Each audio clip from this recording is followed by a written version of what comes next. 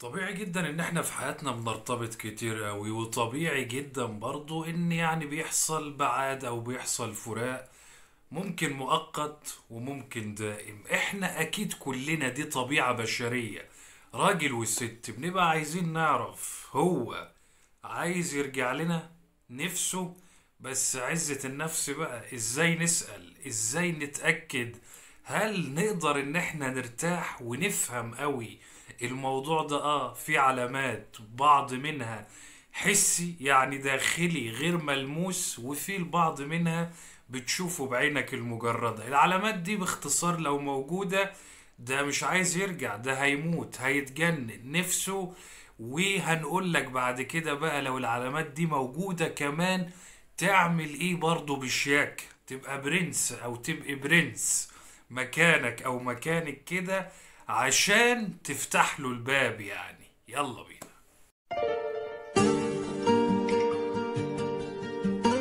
أهلا بألذ ناس في الدنيا كل عام وأنتم بخير. برحب بيكم وده اللي ما اشتركش. يشترك عشان يتابع معانا وركزوا معايا. نبدأ بالأشياء الحسية اللي أنا لازم أحسها. تمام؟ أول حاجة يكون في بالك. بيجي في بالك الشخص ده. مش بيجي في بالك لما تبقى متضايق بس أو زعلان بس. أو رحت في مكان كنتوا بتشوفوا بعض فيه فافتكرتوا لا كده اونطه بصراحة. لا هو في بالك على طول. تقريبا ما بيتنسيش. ما أنتش عارف تنساه. تاني شيء تحلم بيه. حتى لو على فترات متباعدة بس بيجيلك في الحلم. والحلم أنا قلتها قبل كده يكون إيجابي. مش بنتخانق وكل واحد ماسك نبوت للتاني لا.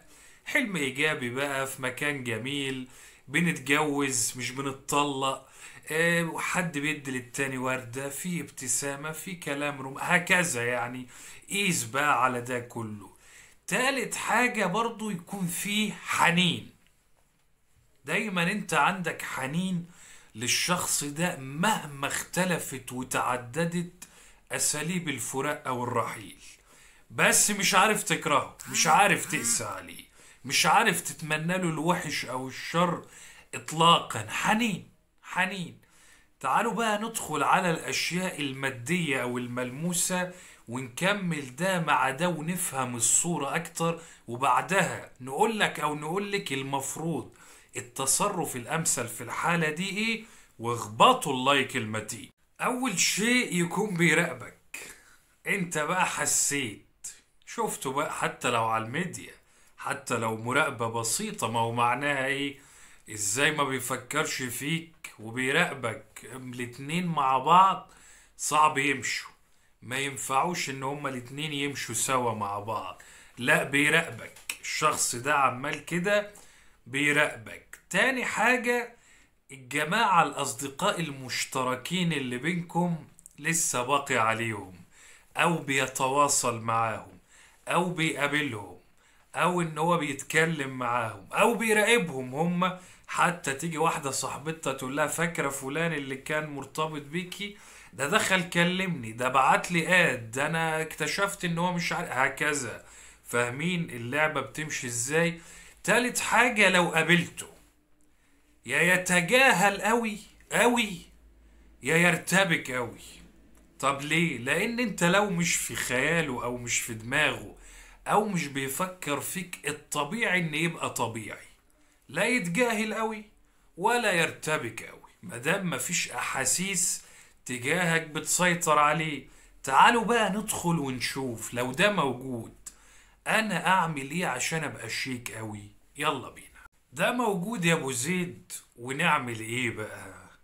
أقول لك أنا لو أنت من داخلك مقتنع إن العيب عليك والغلط غلطك يبقى في الحالة دي دايركت لازم تعتذر.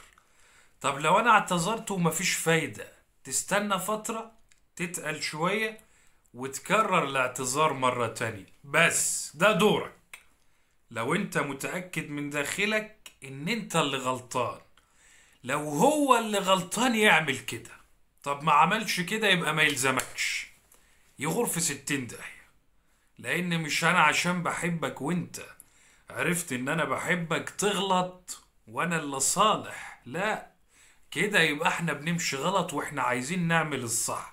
طب لو إحنا الاتنين غلطانين ما أنا لازم بقى لازم نفترض كل السيناريوهات عشان مفيش حد يبقى حيران في الحلقة دي ونجاوب الجميع.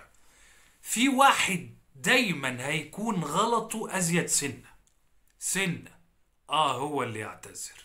سنة. مفيش حاجة اسمها إحنا الاتنين قد بعض. لا هو أنا غلطت وفي واحد بدأ في واحد نكش. طيب ما هو أنا بدأت صحيح اتعصبت عليه بس بعد كده هو رص لي رصه قد كده. ما دام أنت اللي بتأتي بالغلط عندنا مبدأ حلو قوي يقول لك البادئ أظلم اذا أنت اللي غلطان. بس هو أفور بعد كده بس أنت برضو اللي ابتديت أنت برضو اللي غلطان. ده لو الموضوع يفرق معاك وعايز إن أنت ترجع المية لمجاريها ومحدش يحتار يبقى اللي سمع الحلقة دي. الحاجات العلامات اللي إحنا قلناها دي موجودة ريح بالك. الراجل ده عايزك أو الست دي عايزاك أو البنت دي أو الشاب ده هيموت ويرجع لك. بس المدخل نرجع إزاي؟ نعمل إيه؟ فأنا قلت لك تعمل إيه؟ لو مش موجودة يبقى كبر دماغك واعرف إن هو عايش حياتك وامشي بمبدأ اللي هان عليه زعلك لازم هو كمان يهون عليك. مادام في شخص عارف إن أنت مقهور ومتحطم ومتدمر وبتدمع ومش عارف تنام الليل ولا تعيش حياتك بسببه. وعادي معاه وهو عايش حياته ما ينفعش. ما يستحقش. قسما بالله ما يستحق. يبقى أنت واهم وتستاهل اللي يحصل لك. يبقى أنت تستاهل اللي بيحصل معاك ده ما تزعلش مني. مش عايز أطول عليكم بقى أكتر من كده يا جماعة. يعني الحب عامة يعني مش مش معنى إن اتنين بيحبوا بعض ده اللي هيخليهم يكملوا عشان تبقوا فاهمين. إذا ما كانش الحب ده مبني على نفهم طباع بعض تفاهم أهم شيء وإن إحنا ما يبقاش في واحد مننا أنا في بعض الشخصيات مغرورة يتغرى على الدنيا كلها إلا حبيبه. ده المفروض. الحب السوي الإنسان السوي ما يحب كده. لو ما فيش الأشياء دي ما ينفعش. ما هو في بعض الرجال وبعض الستات بس هي الشائعة في الرجال أكتر. تمام؟ لما يرتبط هو شايف إن هو الراجل والست أقل منه درجة. فهي لما تخرج ما ينفعش. أنا أخرج براحتي. هي لما مش عارف تعمل إيه ما ينفعش. ده أنا بتكلم على الاتنين اللي بيحبوا بعض. أو الخطوبة أو قبل الخطوبة أو الكلام ده مثلا يعني. لا أنا ينفع أعمل كده وهي ما ينفعش تعمل كده. لا الصح معروف والغلط معروف وغلط عليك وعليها أنتوا الاتنين. لذلك أنا بدعو كمان أي واحدة مرتبطة بحد تبعت له الحلقة دي. يمكن لعل وعسى يعيد النظر شوية ويبدأ يفهم الدنيا في بعض الشخصيات بتبقى يعني معذورة. هو طلع لقى والده كده وأخوه كده وجاره كده فافتكر إن الناس كلها كده. ممكن أما يسمع من كلمتين كلمتين من العبد لله يفكر شوية في الكلام ده وهدفنا الحياة تبقى أفضل في الأيام الجميلة دي. ده اللي إحنا بنسعى له يعني. اكتبوا لي رأيكم في الحلقة رجاء واكتبوا لي العلامات دي موجودة عندكم ولا لا؟ والحلقة دي أفادتكم ولا لا؟ رجاء واللي بيسأل إزاي يتواصل معايا وفي رقم للاستشارات والحجز تواصل معايا شخصيا. ممكن يتواصل من خلاله لأن في ناس ياما نصابة بالتاجر طبعا. ممكن أي حد عادي جدا هيجي كاتب الاسم محمد أبو زيد عربي ولا إنجليزي وحاطط الصورة ما صوري اهيت ومقطع فيديوهين من أي حتة ويقول لك دي صفحته ويرد بدالي. ما عنديش مشكلة اتكلموا معاه إنما إذا شكيتوا فيه اطلبوا تسمعوا صوته رفض مش أنا. واضحة وبسيطة وبشكركم جدا على المتابعة.